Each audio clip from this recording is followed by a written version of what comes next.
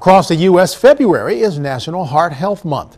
Doctors usually ramp up efforts to get people to eat right and exercise to keep the old ticker ticking. We're here to share some medical wisdom from the heart is one of our favorite MDs, Dr. Poonam Alaigh. Thanks for coming on board this morning. Yeah, thank you, Brian. Um, we brought some stats here. Heart disease, a leading cause of death in the U.S. In 2010, 785,000 Americans had a heart attack. 470,000 had a recurrent attack, and every 25 seconds, an American will have a heart attack. Every minute, an American dies from one. That's serious stuff.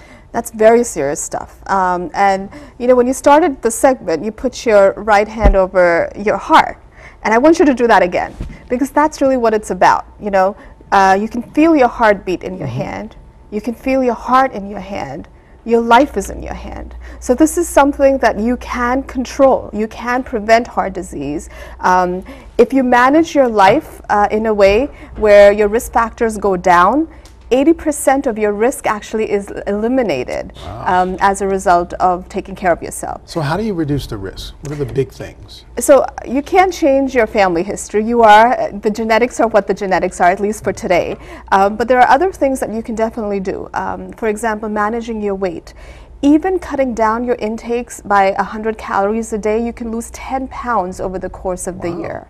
Um, exercising, 30 minutes of working out on a regular basis on most days of the week is very healthy. So and that doesn't mean you have to hit the big weights. Oh no, not at all. Like I say, I've said it in my segments before. Just do what you enjoy doing. Like I love dancing, so I dance for 30 minutes. So do whatever you enjoy doing, but remain physically active. Mm -hmm. um, watching what you eat.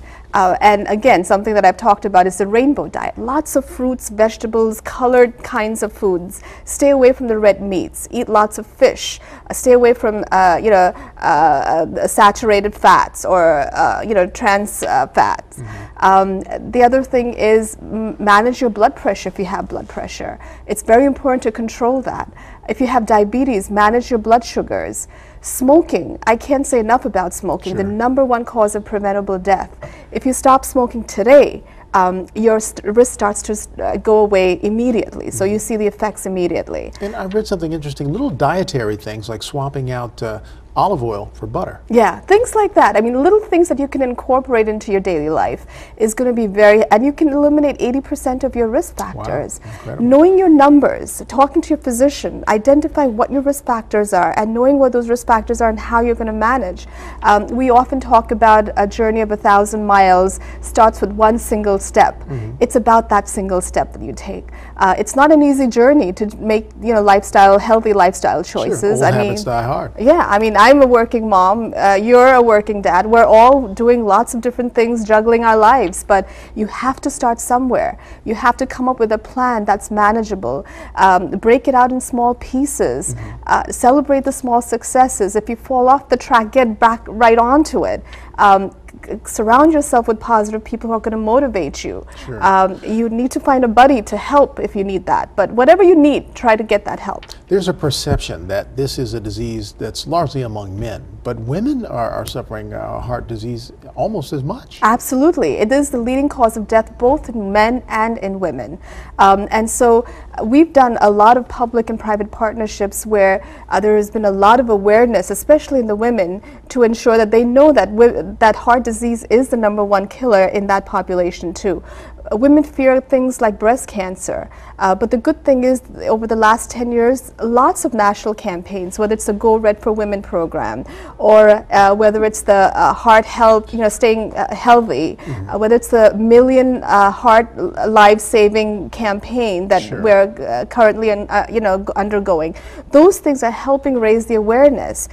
one of the big things that the NIH uh, along with the American Heart Association and also the HHS, the Department of Health and Human Services, we've, we've launched a campaign known as the Million uh, Heart Lives uh, Saving a Million Hearts campaign, mm -hmm. where by the year 2017, uh, the goal is to prevent a million deaths from heart disease, heart attacks, and stroke. And a lot of that, again, involves awareness, and it's knowing your ABCs. So Very if you're basic things. those are basic things. So if you're at high risk, talk to your doctor about taking aspirin. That's what the A stands for. B is for your blood pressure. If you have high blood pressure, make sure it's controlled. C is for your cholesterol management because it's the cholesterol that starts accumulating in the plaques of the coronaries. and then clogs the arteries. And the S is for smoking and salt intake and stress. So, you know, those are the things you can take care of. Dr. Poonam Alaigh, always a pleasure. Thanks much. Thank you.